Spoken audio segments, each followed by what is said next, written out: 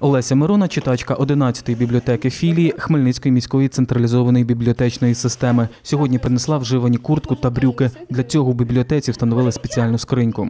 Раніше ми речі ставили біля сміттєвих баків, але як побачили, що можна заносити на благодійне, ми вирішили, що краще вони нужданими будуть. За два дні, відколи в бібліотеці встановили скриньку, читачі принесли 10 пакетів із взуттям та одягом, розповіла бібліотекар 11-ї бібліотеки філії Хмельницької міської централізованої бібліотечної системи Алла Глива. І це можуть бути як речі для дітей, для дорослих, і е, одяг, взуття, іграшка, але щоб це було в гарному стані.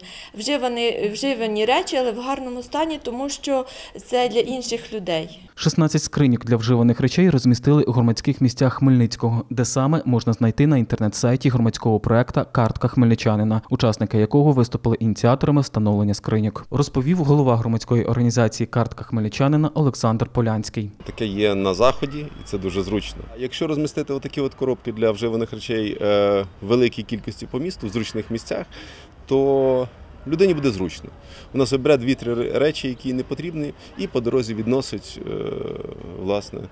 А далі вже ці речі приймають представники Червоного Хреста і розповсюджують тим, кому вони потрібні. Хмельничанин Василь Пилипчук прийшов до товариства Хмельницької обласної організації Червоного Христа за курткою. Зізнається, востаннє нові речі купував 8 років тому. Пенсії вистачає на найнеобхідніше. У мене 1900, а в жінки дві. Так. 3900. 1300 квартплата.